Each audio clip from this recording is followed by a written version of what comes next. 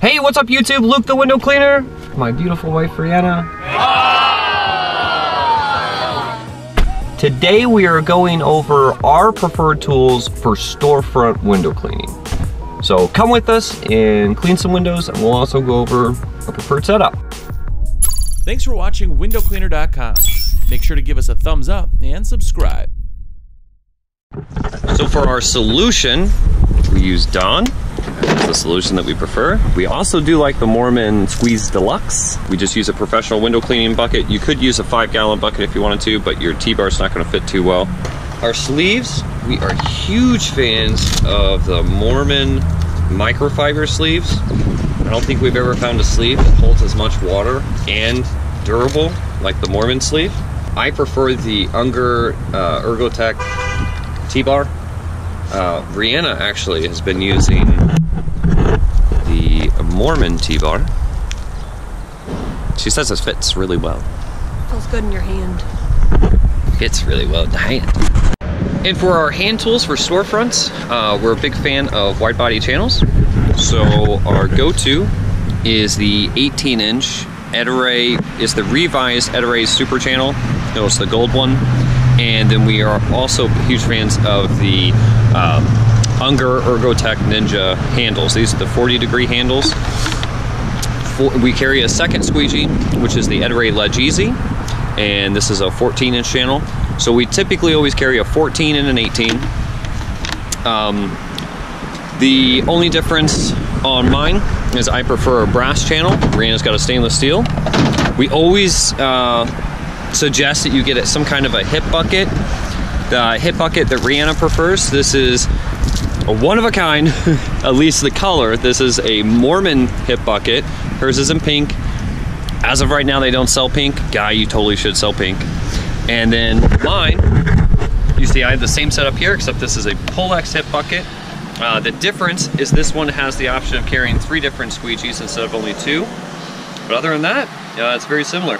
And if you guys watch our own YouTube channel, Luke the Window Cleaner, you've definitely seen this tool a lot. This is the Moerman Excelerator. This is the most used tool that we have for pole work. Uh, we use an 18 inch and a 14 inch. On our channel, we also have a video explaining how we do this mod.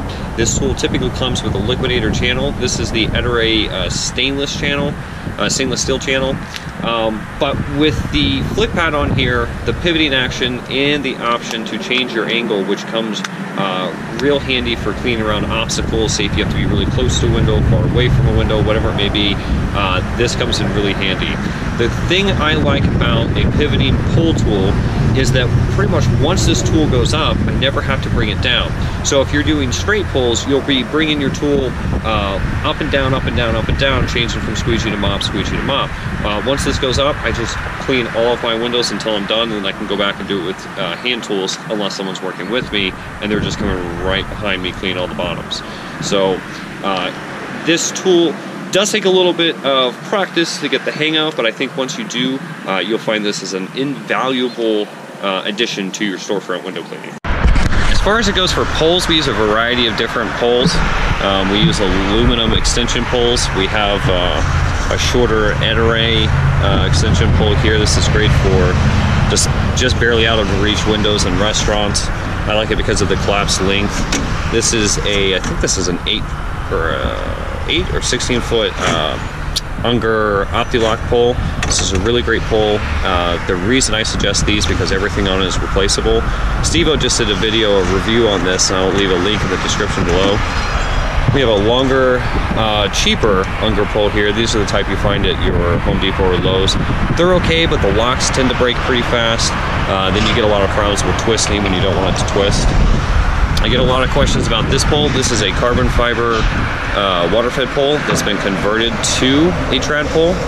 Um, this is great for uh, upper, say if I'm cleaning anything 10 feet and above, I will definitely want to use this. It has a lot less flex, uh, which means it's uh, a little bit more accurate to use as a pole and also uh, there's less energy wasted on cleaning because there is no flex in the pole. So as far as it goes for towels, we really just use, um, we use a few different towels.